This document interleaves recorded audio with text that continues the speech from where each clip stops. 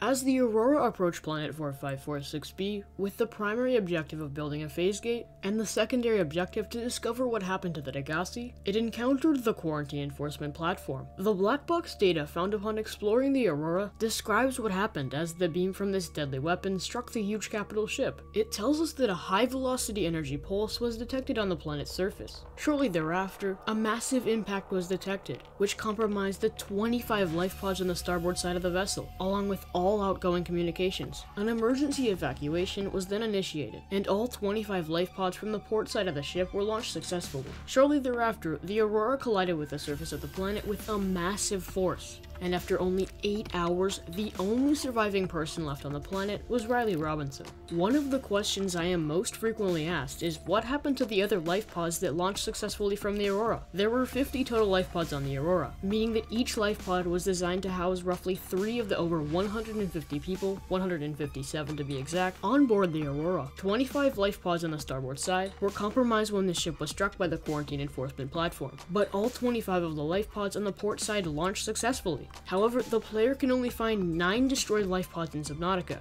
Life Pod 2 in the Blood Kelp Zone, Life Pod 3 in the Kelp Forest, Life Pod 4 floating upside down near the Aurora, Life Pod 6 in the Grassy Plateaus, Life Pod 7 in the Cragfield, Life Pod 12 in the Bulb Zone, Life Pod 13 in the Mushroom Forest, Life Pod 17 also in the Grassy Plateaus, and Life Pod 19 in the Sparse Reef. This means that only 10 of the 25 life pods, including your own, can be found within the crater. So, what happened to all the other life pods that launched successfully from the Aurora? Let's go through all the different possibilities.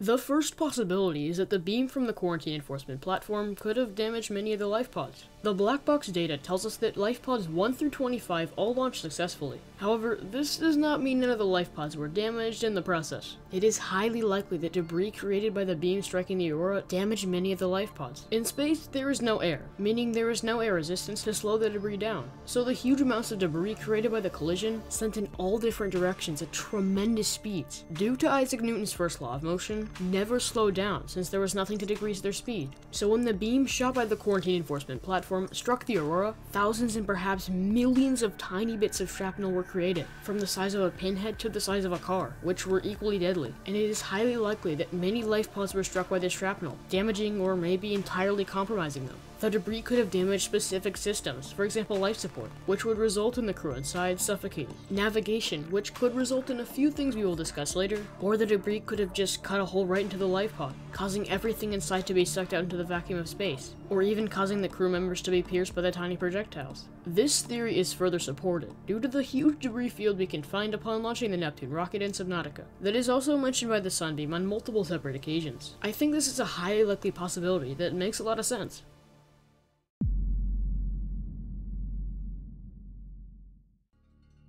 The second possibility is that, due to a malfunction or the debris we discussed earlier, the life pods could have never even made it to the planet. This might mean the life pods and the crew inside were stranded in space, slowly suffocating to death as time progressed. It would be a terrifying way to go. Another interesting thing to think about is that since some life pods likely missed the planet altogether, they could have been captured by the gravity of one of the two moons, orbiting the planet, and landed on their surface. This is extremely interesting to think about, although it's likely that neither of the moons are habitable. But if they were, that would make a pretty interesting third Subnautica game.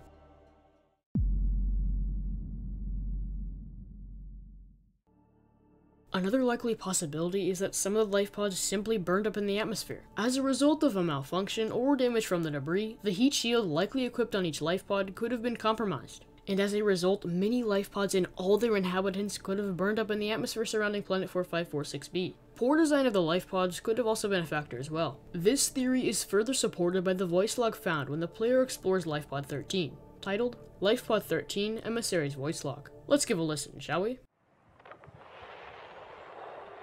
Life pod launch sequence initiated. Entering planetary atmosphere. My creators, the cherishers and sustainers of worlds, give me this day my daily pleasures as I give to those who seek pleasures from me. External temperature approaching critical levels. Show me the path. In life, truth, and love for mine is the power. I am the one. On and off and on again. Impact imminent. Life is a game which the universe plays with itself. I am done playing as this bundle of flesh. Return me. While Emissary Kassar was hurtling down towards planet 4546b, the temperature outside the life pod reached a critical state. Eventually, this resulted in all life support systems to fail, and the life pod to be completely compromised. It is likely multiple life pods had a similar thing happen to them, possibly more severely than what happened to Kassar. They could have been reduced to metal scrap, or could have been entirely consumed by fire during the journey down towards the planet's surface, which would explain the lack of wreckage.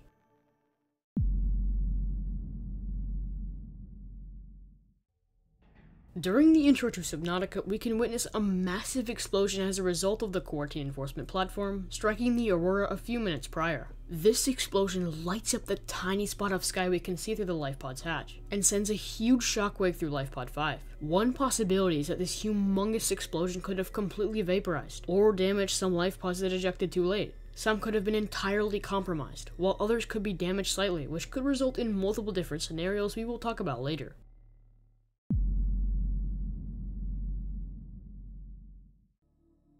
Another possibility is that some life pods could have been destroyed upon colliding with the water. When you jump in a pool, the water acts as a really good cushion to prevent you from colliding with the floor of the pool. However, if you are traveling too fast, like in the case of these life pods, the water doesn't have time to move out of the way and cushion your fall. This means life pods colliding with the water is just like as if the life pods were colliding with concrete. At the end of Yaki Kassar's voice log, the life pod collides with the water, and the recording turns to static. This resulted in the death of Yaki, and the life pod being damaged severely. It is possible that other life pods also collided with the water too fast as a result of a malfunction or damage from debris. Traveling through an atmosphere is very complicated and there's a lot of things that can go wrong. The impact could have been so destructive that the life pod could have been completely reduced to metal scrap, which could explain the lack of wreckage. One counter argument would be that the life pods may have some sort of system to slow themselves down, but once again, a malfunction or more likely impacts from debris could have caused those systems to fail.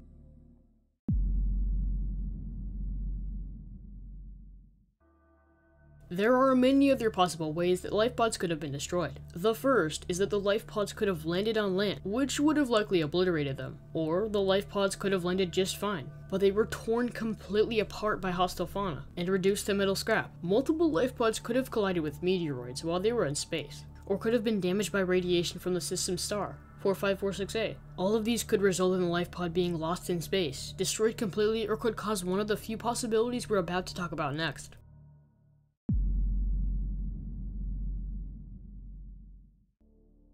One of the most interesting possibilities is that many of the life pods could have missed the crater entirely and landed in the void. What would it be like to have escaped the Aurora safely, landed in your life pod, climbed up your ladder and saw nothing but deep water below you? Not to mention the ghost leviathans that patrol the area. It would have been truly terrifying. One interesting thing to point out is that 80% of the life pods that landed there would have sunk. 8 of the 10 life pods we know of sank to the ocean floor. Likewise, 80% of the life pods would also sink, which is pretty terrifying to think about. I will point out that the life pods may have sunk after they were destroyed and reduced to how we find them today, so this number may not be precise. But regardless, sinking slowly through the dark void with ghost leviathans all around you would have been terrifying. There are two options here for the life pods that landed in the void. Either you die from the ghost leviathans eating you, or you slowly die from starvation or from thirst. I'm not entirely sure which one is the better option, but it's pretty safe to say that if any life pods landed in the void, which I think is pretty likely, they would have been screwed.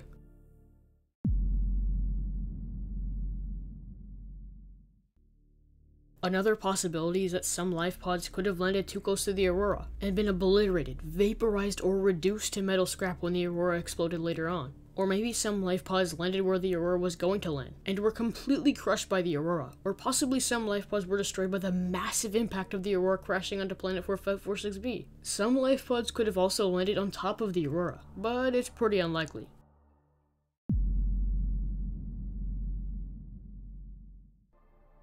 The most likely of all these possibilities is that it is a combination of the previous possibilities that explains what happens to all the life pods in Subnautica. Maybe some of the life pods were stranded in space, others burned up in the atmosphere, and others still landed in the void. I think each possibility has at least one life pod that fell victim to it, but who knows for sure.